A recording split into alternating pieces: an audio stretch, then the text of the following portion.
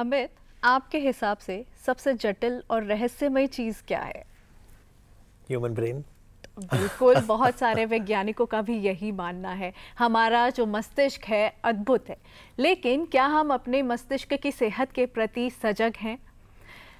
Brain से जुड़ी एक बीमारी है ब्रेन ट्यूमर जिसको लेकर जागरूकता की कमी दिखाई देती है। और इसीलिए 8 जून को वर्ल्ड ब्रेन ट्यूमर डे मनाया जाता है। तो आज हेलो डॉक्टर सेगमेंट में भी हम बात करेंगे ब्रेन ट्यूमर को लेकर जानेंगे इसका निदान। हमारे साथ स्टूडियो में एक्सपर्ट्स मौजूद हैं। आइए उनका स्वागत करते हैं। स्वागत करते हैं डॉक्टर पी शरद चंद्रा का। आपका स्वागत है हमारे कार्यक्रम में। नमस्कार। आप है professor department of neurosurgery AIIMS साथ ही वेलकम करना चाहेंगे डॉक्टर दलजीत सिंह का। नमस्कार डॉक्टर साहब। Good morning director professor neurosurgery GB Pant अस्पताल नई दिल्ली से। डॉक्टर दलजीत आपसे शुरू करते हैं। जब हम कहते हैं ब्रेन ट्यूमर तो आम व्यक्ति इसे कैसे समझे? ट्यूमर एक एबनॉर्मल ग्रोथ ऑफ़ सेल है। हमारी कोशिकाएँ जो हैं रेगुलेटेड नहीं हैं, वो मल्टीप्लाई करने लग जाती हैं। तो वो एक गांठ की शेप ले लेती हैं ब्रेन के अंदर, उसे हम लोग ट्यूमर बोलते हैं। और ये ट्यूमर अपनी ग्रोथ की वजह से अलग अलग सिम्टम प्रोड्यूस करने लग जाता है। आपके कैप्शन ने कुछ सिम्टम ऑलरेडी दिखा दिए हैं। सर दर्द होना, उल्टी होना बॉडी के किसी हिस्से में लकवा आ जाना ये कॉमन सिम्टम है। इसके अलावा ब्रेन के कुछ सिम्टम उसकी लोकेशन के हिसाब से बनते हैं। okay. ब्रेन में अलग अलग लोब्स हैं अलग अलग पार्ट हैं उनकी लोकेशन के हिसाब से अलग अलग सिम्टम आते हैं। जैसे आँखों में दिखने का कम हो जाना सुनाई कम देना चक्कर आना खाना खाने में दिक्कत आ जाना पानी निकल जाना खान, खाना खाते समय पानी पीते समय या फिर फीमेल्स में पीरियड्स का कमी आ जाना okay. तो ये कुछ एबनॉर्मल सिम्टम्स हैं या अनकॉमन सिम्टम्स हैं जो ब्रेन ट्यूमर के केसेस में हो सकते हैं। जी डॉक्टर चंद्रा अक्सर कहा ऐसा समझा जाता है कि ब्रेन ट्यूमर और ब्रेन कैंसर इंटरलिंक्ड है। तो क्या दोनों एक ही चीज़ है? दोनों का कारण ये एक दूसरे एक दोनों का कारण है? बिल्कुल नहीं ब्रेन ट्यूमर एक अम्ब्रेला टर्म है। इसका मतलब इसमें कई सारे ब्रेन ट्यूमर्स हो सकते हैं बहुत सारे हैं। और ये डिपेंड करता है कि कुछ ट्यूमर्स बहुत ही ज़्यादा कैंसरस हो सकते हैं हम्म। कुछ ट्यूमर्स का ग्रोथ थोड़ा कम होता है कुछ ट्यूमर का ग्रोथ बहुत ही कम होता है okay. कुछ ट्यूमर्स ऐसे होते हैं जो ज़िंदगी भर नहीं बढ़ते हैं वो सिर्फ़ दौरे के साथ देते हैं मतलब मरीज़ आता है सिर्फ़ दौरों के साथ लेकिन ट्यूमर का साइज़ फ़िलहाल उतना ही रहता है पूरी ज़िंदगी भर सो ये एक बहुत ही हेट्रोजिनस टर्म है इसमें बहुत यानी हर ट्यूमर हर ट्यूमर कैंसरस नहीं, नहीं है। बिल्कुल नहीं बिल्कुल जी नहीं। तो चलिए तो बहुत राहत की बात है कि सिर्फ़ ट्यूमर अगर डायग्नोस हो तो घबराना नहीं है। लेकिन ब्रेन ट्यूमर से जुड़े यदि आपके भी कोई सवाल है डॉक्टर दलजीत से डॉक्टर शरद चंद्रा से तो हमारे स्टूडियो का नंबर नोट करें।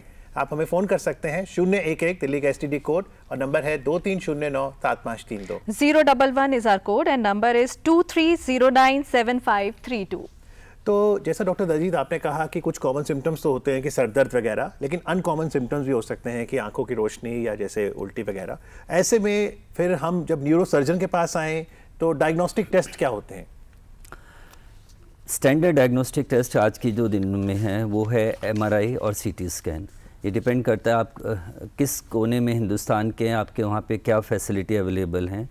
बिना एमआरआई और बिना सीटी स्कैन के आज की डेट में tumour diagnose brain tumour diagnose नहीं होता। तो डॉक्टर साहब इनमें फ़र्क क्या है? M R I C T scan या दोनों एक ही हैं? नहीं नहीं अलग है। एम आर आई जो है मैग्नेटिक रेज के ऊपर प्रिंसिपल के ऊपर बेस्ड है। अच्छा। उसको मैग्नेटिक रेजोनेंस इमेजिंग बोला जाता है ठीक है ना?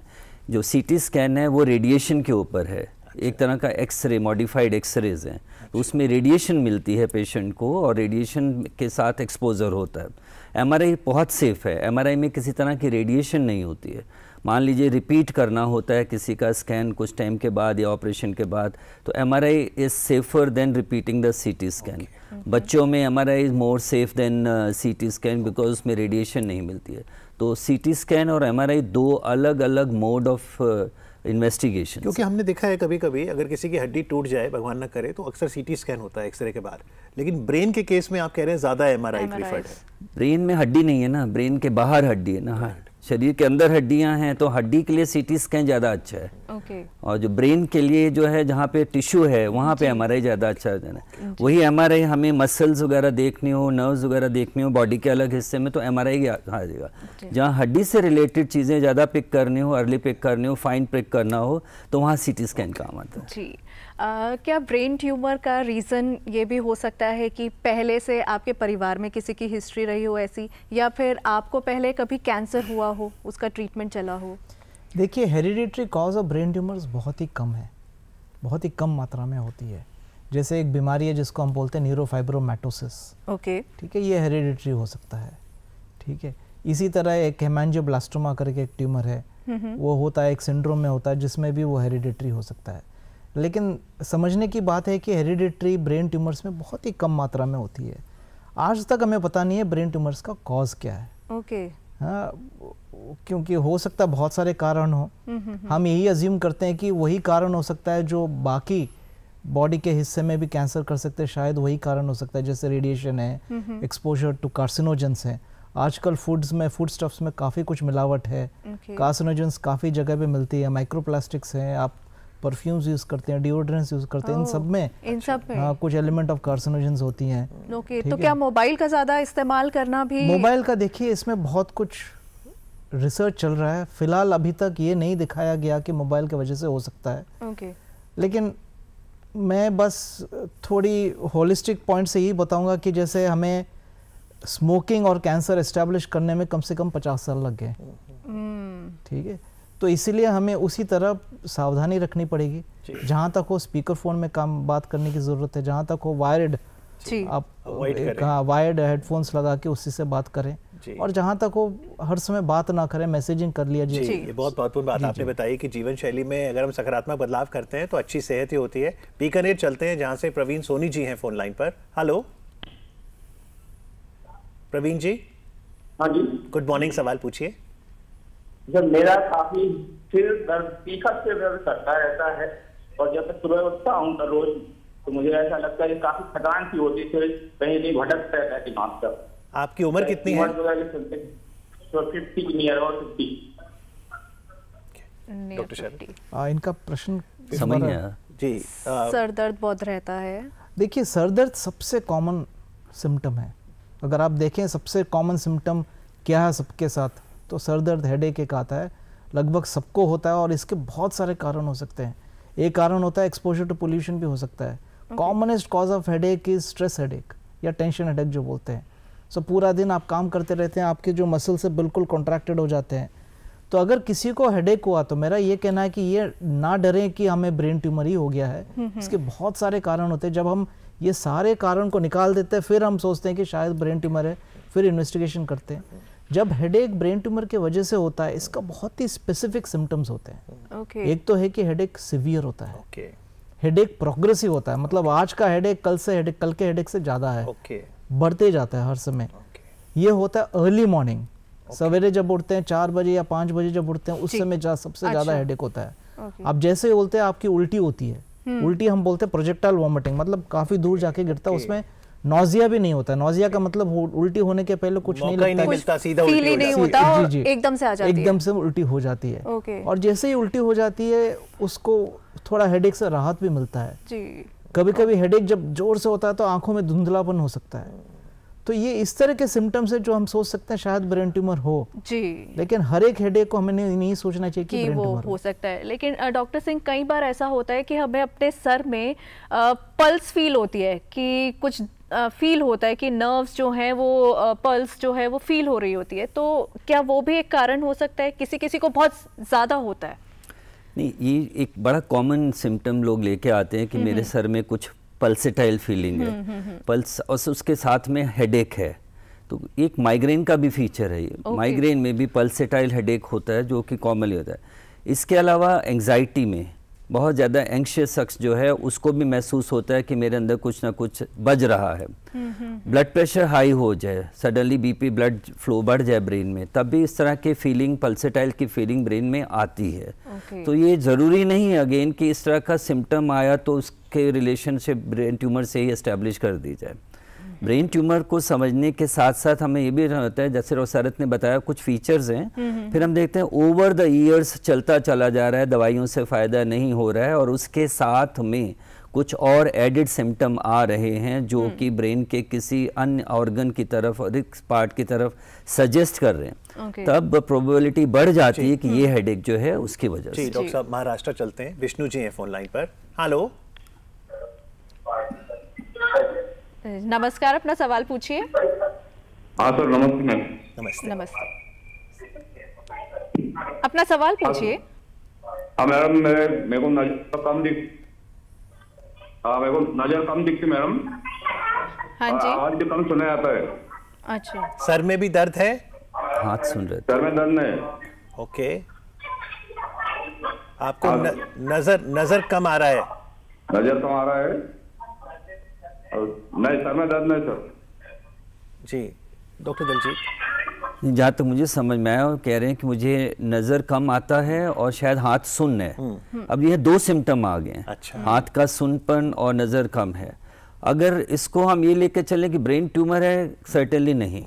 ओके। ना नज़र कम आ रहा है अपने नहीं उनकी उम्र कितनी है उनको कैटरेक्ट हो रहा हो। हाथ सुनना हो सकता है सर्वाइकल बन रहा हो। तो ये सिम्टम जो हैं मल्टीपल चीज़ों की तरफ़ सजेस्ट कर सकते हैं ओके कि अब उनकी सुनपन है आँख हाथ आँखों में दिखाई नहीं दे रहा थोड़ा सा और क्लिनिकल डिटेल चाहिए होगा हमें चेक करना होगा आँख के अंदर क्या है अगर उसके फंडस एग्जामिनेशन में आँखों की रोशनी देख के चेक के कि उनमें पेप्लिडीमा है ऑप्टिका ट्रोफी लगा जाए तो फिर सजेशन होते हैं कि इनको ब्रेन ट्यूमर की तरफ़ ग्रोथ हो रही है कुछ okay. okay. खाली ये दो सिम्टम्स से अगर हम लेके कंक्लूड कर लें कि इनको ब्रेन ट्यूमर है वो गलत हो जी जी। इसका मतलब है बहुत ज़रूरी है कि ये सिम्टम्स आप डॉक्टर को दिखाएँ और फिर ही कदम लें।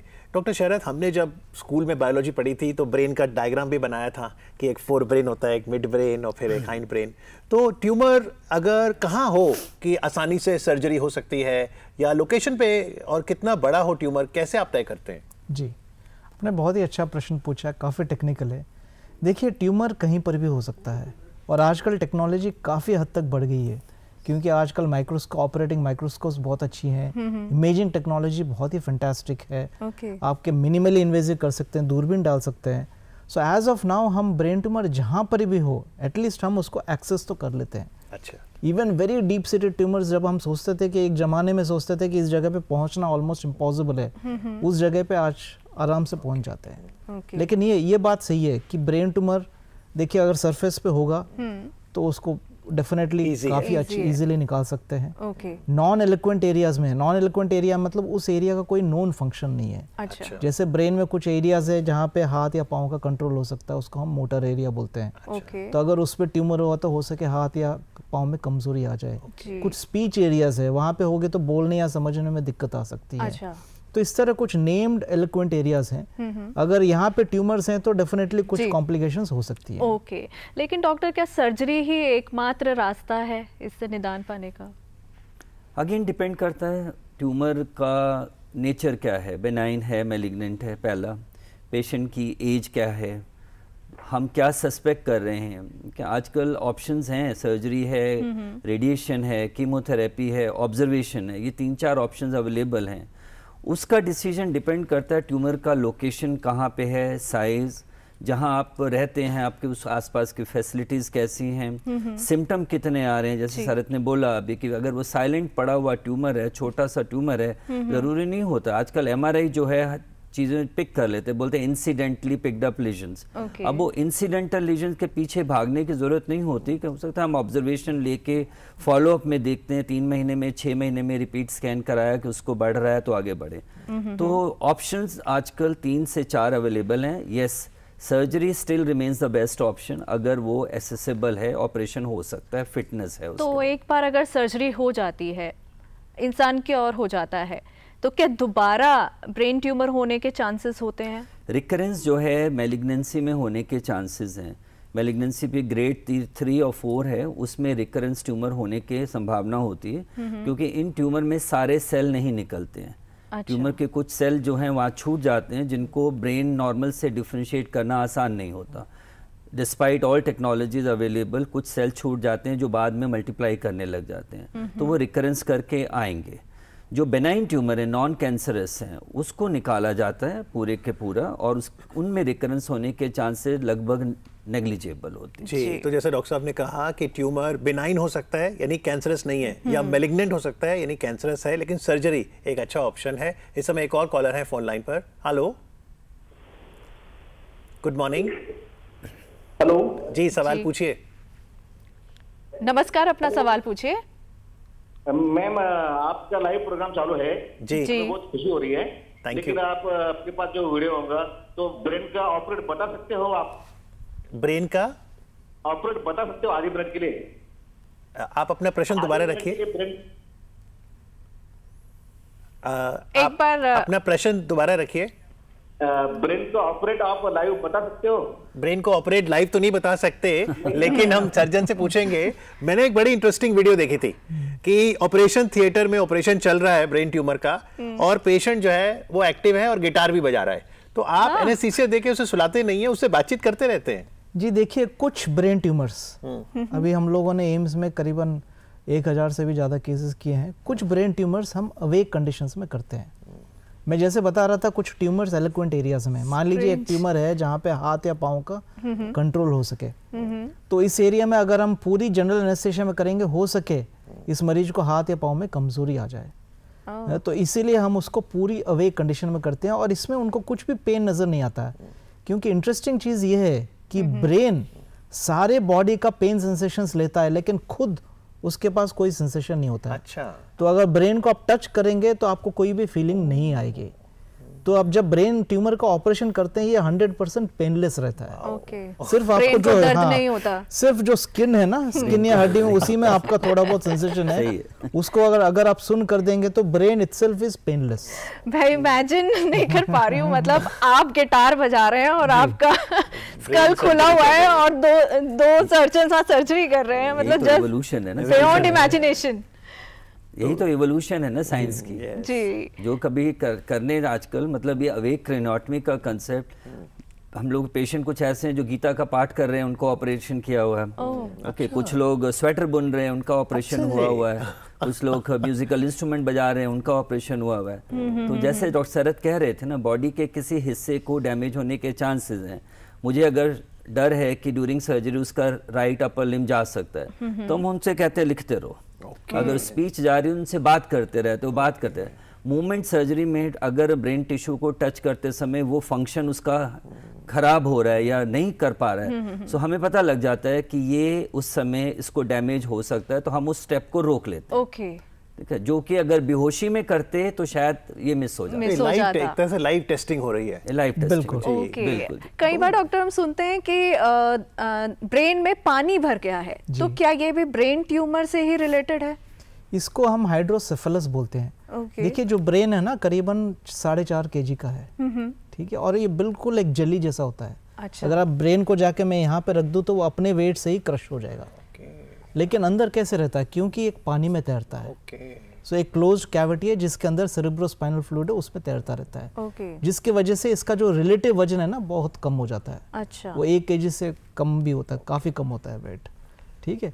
अब यही पानी जब ब्रेन के अंदर भी कैविटीज होती है और यही पानी अगर ये सर्कुलेशन होता रहता है अगर कहीं पर भी ऑब्स्ट्रक्शन आ गया जो ट्यूमर की वजह से भी हो सकता है तो पानी अक्यूमुलेट होता जाता है अंदर पानी भर जाता है जिसके वजह से दोबारा सिम्टम्स आ सकते हैं जैसे हेडेक आ सकता है। इसको हम रेज इंट्राकरनल प्रेशर टेंशन बोलते हैं हाल ही में हमने विश्व पर्यावरण दिवस मनाया है। हम कहते हैं जी जल का संकट ना हो पानी बचाइए। अब देखिए मानव शरीर में भी पानी है आँखों में भी पानी है ब्रेन में भी पानी है तभी वो फ़ंक्शन कर पाता है। चलते चलते अगर हम भारत में इंसिडेंट्स देखें ब्रेन ट्यूमर के बढ़ रहे हैं हमारे साथ दो प्रसिद्ध न्यूरो सर्जन बैठे हैं लेकिन भारत में न्यूरो सर्जन्स की संख्या कितनी है? और अगर केसेस बहुत आते हैं ब्रेन ट्यूमर के तो हमारे पास क्या उस तरह से फिर डॉक्टर्स और सुविधाएँ उपलब्ध हैं।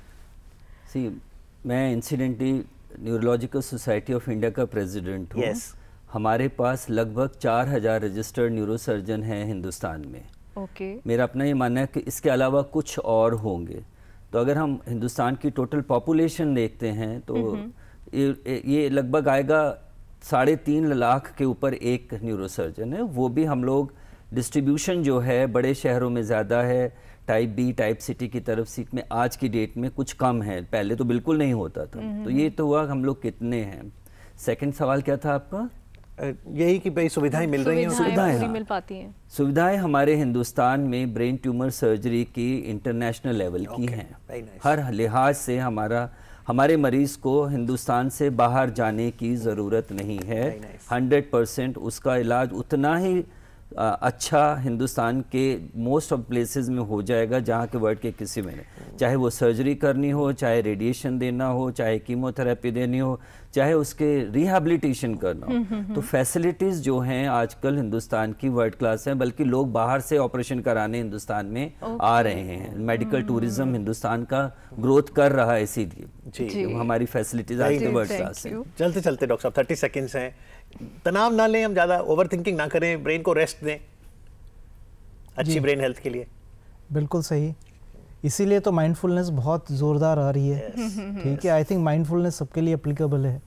हम अपने ब्रेन्स को स्विच ऑफ़ नहीं करते हैं। देखिए गाड़ी आप आठ घंटे के लिए चलाएँगे तो गाड़ी हीट अप हो जाएगा।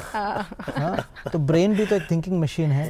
Brain consumes 20 percent of the energy resources of the body है तो 5 परसेंट वेट लेकिन 20 परसेंट ऑफ़ एनर्जी कंज्यूम करता है। तो इसीलिए ब्रेन को रेस्ट देना ज़रूरी है। तो जब आप रात को जाते हैं शाम को जाते हैं जब रेस्ट करते हैं आपको स्विच ऑफ़ करने की वो वो आदत लगानी चाहिए। जी वो ज़रूरी है। जी तो आशा करते हैं हम ब्रेन हेल्थ को लेकर और सजग होंगे। और खुदा ना खास्ता अगर ब्रेन ट्यूमर हो जाए तो घबराने की बात नहीं है। साइंस ने बहुत तरक्की कर ली है। हमारे पास बहुत अच्छे न्यूरो सर्जन उपलब्ध हैं। आज कार्यक्रम में आके इस विषय पर जागृति के लिए डॉक्टर दलजीत आपका डॉक्टर शरद चंद्र आपका बहुत बहुत आभार थैंक यू वेरी मच.